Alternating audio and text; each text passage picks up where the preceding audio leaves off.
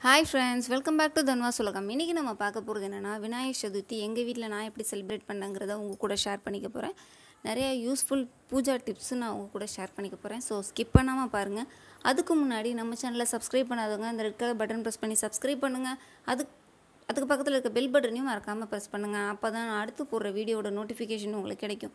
நீங்களும் புதிய வீடியோ பார்க்கலாம். இப்போ வாங்க ஃப்ரெண்ட்ஸ் நம்ம வீடியோக்குள்ளே போகலாம் ஸ்டார்டிங்லேயே நான் சொல்கிற ஃப்ரெண்ட்ஸ் பர்த்டேனா எல்லாருக்கும் ரொம்ப பிடிக்கும். அந்த மாதிரி எனக்கு வந்து என்னோடய பர்த்டே விட விநாயகரோட பர்த்டே வந்து எனக்கு கொஞ்சம் ஸ்பெஷலாக செலிப்ரேட் பண்ணுங்கிற ஆசை இருக்குது ஏன்னா வந்து எங்கள் அம்மா வீட்டு வாசலில் வந்து ஒரு விநாயகர் கோவில் இருக்குது அந்த கோவிலில் வந்து விநாயகருக்கு ஸ்பெஷலாக எல்லாம் செலிப்ரேட் பண்ணுறத நான் அடிக்கடி பார்ப்பேன். பார்க்கும்போது எனக்கும் கொஞ்சம் ஆசை இருந்துச்சு.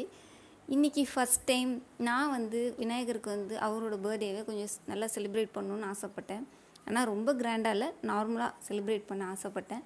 நான் என்ன பண்ணுறேங்கிறத வாங்க வீடியோக்குள்ளே பார்ப்போம் இன்றைக்கி வந்து நான் வந்து நெய்வேத்தியம் வந்து என்ன ரெடி பண்ணுறேன்னா ஃப்ரெண்ட்ஸ் பிடி கொழுக்கட்டை கொழுக்கட்டை மோதகம் ஃப்ரைடு மோதகம் சுண்டல். அஞ்சு செஞ்சுருக்கேன் ஃப்ரெண்ட்ஸ் எங்களுக்கு வந்து வழக்கம் என்னென்னா வந்து படையல் போடுறதோ இல்லை வெரைட்டி ரைஸ் வைக்கிறதோ கிடையாது. சில பேர் அது மாதிரி செய்வாங்க. எங்களுக்கு வந்து விநாயகருக்குள்ள ஸ்பெ விஷயங்கள் மட்டும் அதாவது அவரோட அன் அன்றைக்கி என்ன சாப்பிடுவாரோ அது மட்டும் வச்சு தான் நாங்கள் சா சுவாமி கும்பிடுவோம். நீங்கள் ப்ரீ ப்ரிப்பரேஷனாக வந்து எல்லாமாவும் ரெடி பண்ணி வச்சிட்டிங்கன்னா உங்களுக்கு ரொம்ப யூஸ்ஃபுல்லாக இருக்கும். மார்னிங் எழுந்திரிச்ச உடனே நீங்கள் வந்து சுவாமிக்குள்ள நைவேத்தியம் ரெடி பண்ணிவிட்டு உடனே சுவாமி கும்பிட்றதுக்கு ரெடி பண்ணிடலாம். இல்லை மார்னிங் தான் எல்லாம் ரெடி பண்ணணும்னா ரொம்ப கஷ்டமாக இருக்கும். அது பேபிஸ் வச்சுருக்கவங்களாம் ரொம்ப கஷ்டம். எனக்கு அதோட எக்ஸ்பீரியன்ஸ் இருக்குது ஏன்னா நம்ம ஒன்று செய்வோம் அவங்க கொஞ்சம் அழுவாங்க. ஏதாச்சும் நம்ம அவங்களையும் பார்க்கணும் இங்கேயும் பார்க்கணும். அந்த இதுக்காக சொல்கிறேன் இன்றைக்கி நான் என்ன பண்ணியிருக்கேன்னா ப்ரீ ப்ரிப்பரேஷனாக மாவெல்லாம் ரெடி பண்ணி வச்சிட்டேன். கொழுக்கட்டை மாவு பிடி கொழுக்கட்டைக்கு மாவு அதே போல் ஃப்ரை மோதகத்துக்குள்ள மாவு ஃப்ரைடு மோதகத்துக்குள்ள மாவு மாவெல்லாம் ரெடி பண்ணிட்டேன். அதுக்கப்புறம் வந்து முந்தின நாள் நைட்டே வந்து நான் வந்து அருகம்புல் மாலை எல்லாம் ரெடி பண்ணி வச்சிட்டேன். பூ வந்து நான் கடையில் கட்டின பூ தான் வாங்கினேன். நான் கட்டலை. அடுத்து வந்து இந்த விளக்கு பொட்டு வைக்கிறது வீடு மாப் பண்ணுறது இதெல்லாம் கூட ப்ரீ ப்ரிப்ரேஷன்லேயே முடிச்சிடலாம். நான் நான் அருகம்புல் வந்து மூணு மூணு பார்ட்டாக பிரிச்சிருக்கேன் ஃப்ரெண்ட்ஸ் எனக்கு மூணு விநாயகர் இருக்காங்க. அவங்களோட சிரசில் வைக்கிறதுக்காக வந்து மூணு பார்ட்டாக பிரிச்சிருக்கேன். அப்புறம் ஒரு குட்டியாக ஒரு மாலை எந்த விநாயகருக்கு ஸ்பெஷலாக பண்ண போகிறனோ அந்த விநாயகருக்கு ஒரு மாலை மாதிரி கட்டியிருக்கேன் அருகம்புல். ஏதோ எனக்கு தெரிஞ்ச வரைக்கும் கட்டியிருக்கேன் ஃப்ரெண்ட்ஸ் எனக்கு அருகம்புல் கிடைக்கிறதே ரொம்ப கஷ்டமாக இருந்துச்சு. வெள்ளருக்கு வந்து சுத்தமாக கிடைக்கவே இல்லை. நான் மார்னிங் எழுந்திரிச்சோடனே என்ன செஞ்சேன்னா வந்து ஃபஸ்ட்டு சுண்டல் வேக வச்சுட்டேன். வெள்ளை கொண்டக்கடல சுண்டல் வந்து வேக வச்சுட்டேன். அடுத்து வந்து பூரணம் ரெடி பண்ணுறதுக்கு எல்லாம் பிளான் பண்ணிட்டேன். பூரணம் வந்து நான் எப்படி ரெடி பண்ணேன்னா ஃப்ரெண்ட்ஸ் வெறும் தேங்காய் பூரணம் மட்டும்தான் ரெடி பண்ணேன். அதிகமாக செய்யலை. சும்மா கொஞ்சமாக செய்யலான்னு சொல்லிட்டு தேங்காய் தேங்காய் பூரணத்துக்கு முந்தின நாள் நைட்டே வெள்ளம் ரெடி பண்ணி வச்சுட்டு தேங்காய் எல்லாம் எடுத்து வச்சுட்டேன் தனியாக இப்போ தேங்காவை நான் வந்து ஃப்ரை பண்ணிவிட்டு அப்படியே வந்து ஸ்டெப் பை ஸ்டெப்பாக நான் வந்து செய்ய ஆரம்பிச்சிடுவேன் ஃப்ரெண்ட்ஸ் நான் வந்து உங்களுக்கு வந்து ஒவ்வொரு ரெசிப்பியும் தனி வீடியோஸ் போடுறேன். என்னால் போட முடியல. ஏன்னா வந்து ரீசன் என்னென்னா தன்வாக்கு உடம்பு சரியில்லை. தன்வாக்கு வந்து கொஞ்சம் ஃபீவராக இருக்குது அதனால தான் என்னால் வந்து தனி எல்லாமே ஒரே வீடியோவாக போட முடியல. வீடியோ போட்டால் லாங்காக வேறு போகுதுன்னு சொல்லிட்டு போடல. இப்போ மாலை அருகம்புல் மாலை பூ எல்லாமே ரெடி தனியாக ரெடி பண்ணி வச்சிட்டேன். அங்கேயே வந்து நீங்கள் வந்து விநாயகருக்குள்ள வஸ்திரம் பூணல் எல்லாமே எடுத்து வச்சிடலாம் நான் விளக்கெல்லாம் பொட்டி வச் போட்டு சாரி பொட்டு வச்சு வச்சுட்டேன். அடுத்து வந்து விநாயகரோட வஸ்திரம் அதாவது விநாயகருக்கு நான் புதுசாக ஒரு வஸ்திரம் ரெடி பண்ணி வச்சேன். அதுவும் எடுத்து வச்சாச்சு. இப்போ நான் எப் எந்த பிள்ளை விநாயகரை வச்சு நான் வந்து வல் பூஜை பண்ண போகிறேன் அப்படின்னா நீங்கள் பாருங்கள் உங்களுக்கு தெரியும். எங்கள் வீட்டில் வந்து ஒரு கல் விநாயகர் இருக்காங்க அப்புறம் ஒரு கண்ணாடி விநாயகர் இருக்காங்க அப்புறம் வந்து படத்தில் நான் ஒரு விநாயகர் வச்சுருக்கேன். இவங்க மூணு பேர் தான். இந்த கல் விநாயகருக்கு தான் இன்றைக்கி நான் செய்ய போகிறேன் கல் விநாயகர் வச்சுருந்தாலும் மஞ்சள் பிள்ளையார் விநாயகரை பிடிக்கணுங்கிறதுக்காக தனியாக ஒரு மஞ்சள் விநாயகர் எடுத்து வச்சுருக்கேன் வெத்தலை மேலே. இப்போ வந்து நான் வந்து அந்த டேபிள் வந்து எனக்கு டேபிள் தான் வந்து பூஜை ரூம். அது எனக்கு ஒரு செக்ஷன் மட்டும்தான். ரொம்ப பெருசாக இல்லை. அதனால் அந்த இடத்துல கீழே ஒரு பவுல் வச்சுட்டு நான் மேலே ஒரு ஒரு பிளேட் வச்சுட்டு ஒரு பிளேட் வச்சுட்டு நான் விநாயகருக்கு வந்து அபிஷேகம் பண்ண போகிறேன் எங்களுக்கு வந்து கல் விநாயகர் வச்சுருக்கறனால அபிஷேகம் பண்ணணும். அதனால நான் அபிஷேகம் ஸ்டார்ட் பண்ண போகிறேன் நான் இன்றைக்கி ஒரு ஏழு வகையான பொருளை வச்சு மட்டுமே அபிஷேகம் பண்ணுறேன் அதிகமாக நான் செய்யலை. ஒரு ஏழு வகையான பொருள் மட்டும் போதுன்ட்டு நான் வச்சுட்டேன். பால் தே சாரி எலுமிச்சை சாறு சந்தனம் மஞ்சள் சாரி எண்ணெய் அரிசி மாவு. இந்த ஏழு வகையான பொருள் வச்சு தான் நான் செஞ்சேன். ஒவ்வொரு பொருள் வந்து நம்ம வந்து செய்ய பூஜை அர்ச்சனை சாரி அபிஷேகம் பண்ணுறப்ப வந்து உங்களுக்கு வந்து ஒவ்வொரு நமக்கு பலன் இருக்குது சாதாரணமாக வந்து எல்லா சுவாமிக்கும் வந்து எல்லாத்தையுமே வச்சு அபிஷேகம் பண்ணுறதில்ல ஒவ்வொருத்தவங்களுக்கும் ஒவ்வொரு பலன் இருக்குது அந்த ஒவ்வொரு அது எதுக்காக செய்கிறாங்கங்கிறது சில பேருக்கு இது வரைக்கும் தெரியாமல் இருக்கலாம். எனக்கு வந்து நான் உங்களுக்கு நான் வந்து தனியாகவே ஒரு வீடியோ போடுறேன் கண்டிப்பாக. என்னென்ன பண்ணணும் அப்படிங்கிறத நான் கண்டிப்பாக சொல்கிறேன். ஃபஸ்ட்டு அபிஷேகம் ஸ்டார்ட் பண்ணும்போது நீங்கள் தண்ணி விட்டு விநாயகரை நல்லா வந்து கழு மேலே எல்லாமே தண்ணி பட்ட பட்டதுக்கப்புறம் நீங்கள் வந்து நல்லெண்ணெயை விட்டு அபிஷேகம் பண்ணுங்கள் நல்லெண்ணெய் விட்டு பண்ணுறது தான் கல்விநாயகருக்கு முதல் ஸ்டெப்பு பண்ணுவாங்க. அடுத்து வந்து ஒவ்வொரு ஸ்டெப்பு வந்து மாறலாம். ஆனால் ஃபஸ்ட்டு செய்யும்போது நல்லெண்ணெய் விட்டு தான் செய்வாங்க. நானும் நல்லெண்ணெய் தான் விடுறேன். நான் அந்த டேபிளில் தான் வந்து நான் எல்லாமே வச்சு ரெடி பண்ணியிருக்கேன். நான் இன்னுமே இங்கே மேலே தான் வந்து நான் கோலம் போட்டுட்டு நான் அபி சாரி விநாயகரை அலங்காரம் பண்ணணும்.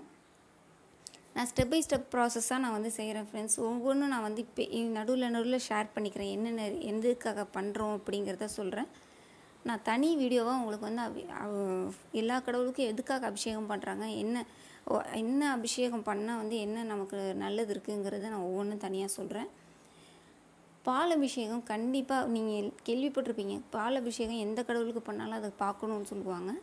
இல்லை பால் வாங்கி கொடுக்கணும்னு சொல்லுவாங்க. பால் வாங்கி கொடுக்கறது எப்படின்னா வந்து பசும்பால் வாங்கி கொடுக்கணும். நம்ம வந்து ச பால் வச்சுருந்தாலோ அதாவது மாடு வச்சுருந்தாலோ கறந்து கொடுக்கலாம். இல்லை போய் பசும்பால் வாங்கி தான் கடவுளுக்கு கொடுக்கணும் பேக்கெட் பால் கொடுக்கக்கூடாது.